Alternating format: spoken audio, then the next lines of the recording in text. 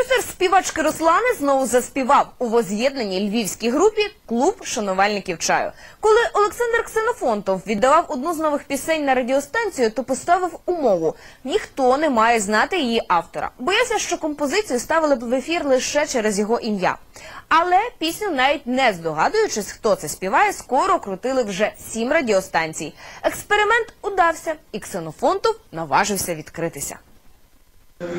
Цього вечора між ними відбулося велике примирення. Вони на сцені вдвох співає він. Руслана поруч, але більше для підтримки. Аплодують йому, квіти дарують йому.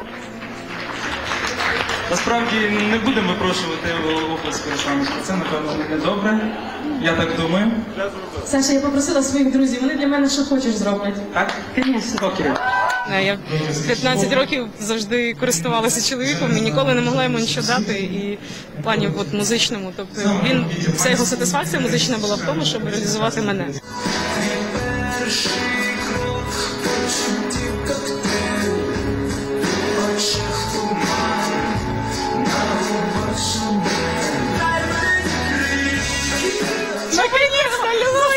20 років стоїть, і пройшло 20 років. То, що співається в кайф, передається глядачу обов'язково.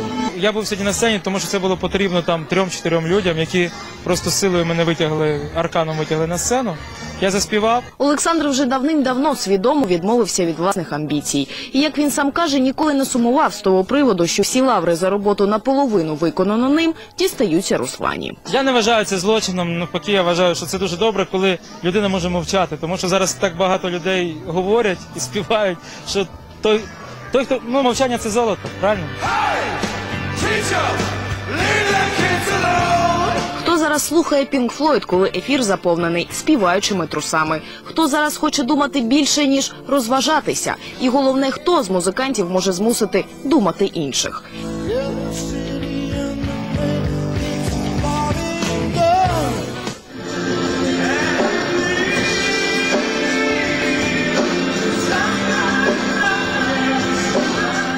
Що заспівав Ксенофонтов разом із групою своєї молодості, клуб любителів чаю дуже сильно відрізняється від того, що є на музичному ринку. Це арт-рок, це той стиль, з якого повиходили всі, ну, Стінг, е, е, Філ Колінз, там, е, Поліс, е, Пітер Гебріел, ну, все, що ви знаєте, Пінк Флойд. Це колись, ну, ми не говоримо за Кінг Крімсон, але мені дуже шкода, що справжньої музики нема в Україні. Всі бояться її робити, всі бояться бути непопулярними. Казати про шоу-біз.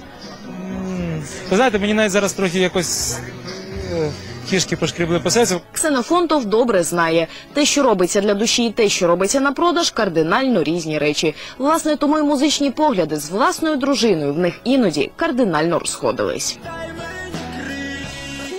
Just maybe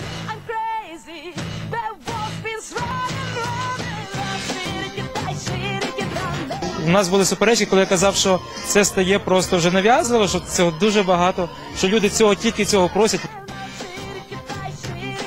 Це нагадує вже, вибачте, не близькість, не близькість. Це нагадує секс, такий дуже довгий, затяжний, коли вже нічого не відчуваєш, і треба дуже сильно,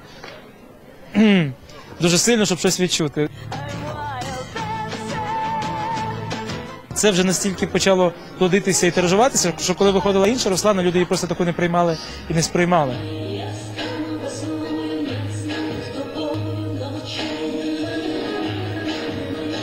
Сьогодні ніхто з них не є заручником свого образу, адже те, що вони співають сьогодні, для душі, а не на продаж.